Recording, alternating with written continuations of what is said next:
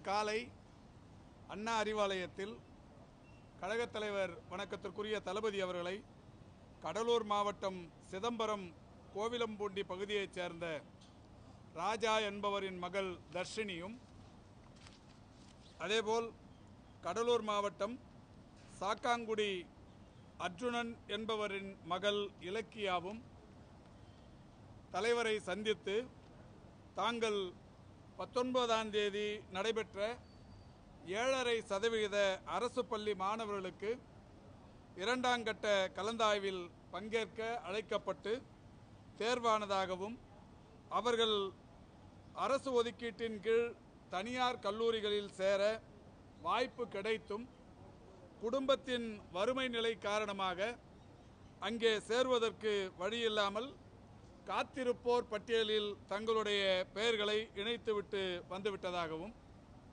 அதற்கு பிறகு திமுக கழகத்தின் தலைவர் வணக்கத்திற்குரிய தளபதி அவர்கள் திமுக கழகத்தின் சார்பில் யாரெல்லாம் தமிழகத்தில் ஏழரை சதவிகித அடிப்படையில் மருத்துவம் படிக்க இடம் கிடைத்திருக்கிறதோ அவர்களுக்கான கல்வி கட்டணத்தை திமுக ஏற்கும் என்று அறிவித்தார்கள். அவர் அறிவித்த ஒரு ஐந்தாறு மணி நேரம் கழித்து தமிழக அரசின் சார்பில் இல்லை இல்லை நாங்களே அரசே அதை கட்டுகிறோம் என்று அறிவித்தார்கள். இந்த அறிவிப்புக்கு பிறகும் கூட நிறைய குளறுபடிகள் தொடர்ந்து இருந்து கொண்டிருக்கிறது. இன்றைக்கு இந்த இரு மாணவிகளும் கழகத் தலைவர் வணக்கத்திற்குரிய தளபதி அவர்களை சந்தித்து எங்களுக்கு ஏற்கனவே இந்த அரசு அறிவித்திருக்கிற சலுகை கிடைக்காமல் கிடைக்காமல் போயிருக்கிறது.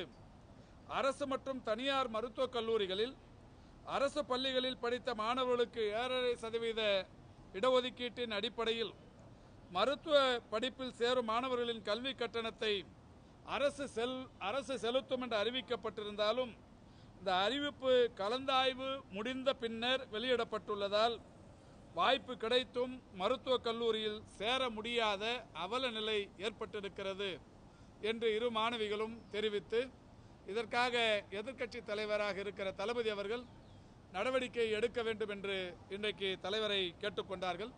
அது மட்டுமல்ல இன்றைய தினசரிகளில் சேலம் மாவட்டத்தில் உள்ள நங்கவல்லி கிராமத்தைச் சேர்ந்த மாற்றுத்திறனாளி மாணவி சுபத்ரா திருச்சுழி தாலுகாவைச் சேர்ந்த மாணவர் அருண்பாண்டி உசிலம்பட்டி ஒன்றியத்தைச் சேர்ந்த மாணவர் தங்கபாண்டி அதேபோல் இன்னொரு மாணவி தங்கப்பேச்சி.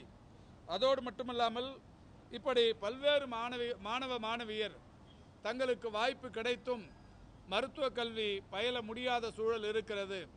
எனவே காலதாமதம் என்கின்ற அந்த கருத்தின் அடிப்படையில் தங்களுக்கான அந்த உரிமை மறுக்கப்பட்டு வருகிறது. எனவே அரசு உடனடியாக இதில் தலையிட்டு இந்த கட்டணத்தை அரசே ஏற்க வகை செய்ய வேண்டும் என்கின்ற கடிதத்தை திமுக கழகத்தின் தலைவர் வணக்கத்திற்குரிய தளபதி அவருடைய கடிதத்தை இன்றைக்கு நானும் மரியாதைக்குரிய துறைமுகம் தொகுதியின் சட்டப்பேரவை உறுப்பினர் திரு. சேகர் பாபு அவர்களும் முதலமைச்சர் அலுவலகத்தில் தந்துவிட்டு வந்திருக்கிறோம். யார் யாருக்கெல்லாம் கலந்தாய்வில் தாமதமாக வந்தார்கள் என்று கட்டணம் கட்டணம் கட்ட மறுக்கப்பட்டிருக்கிறார்களோ அவர்கள் அத்துணை பேருக்கும் அது நான்கு பேர்களா பதினைந்து பேர்களா என்று தெரியாது.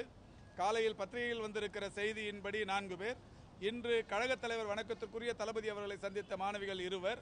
ஆக ஆறு பேர் இதுவரை பட்டியல் வந்திருக்கிறது. இதற்கும் மேலே எத்தனை பேர் இப்படி அந்த கால தாமதத்தால் பாதிக்கப்பட்டிருக்கிறார்கள் என்கின்ற நிலை கண்டறிந்து அவர்கள் அத்துணை பேருக்குமே அரசு அந்த மருத்துவ கல்வி கட்டணத்தை கட்ட வேண்டும் என்று கழகத் தலைவர் தளபதி அவர்கள் கொடுத்த கடிதம் முதலமைச்சர் அலுவலகத்தில் தரப்பட்டிருக்கிறது.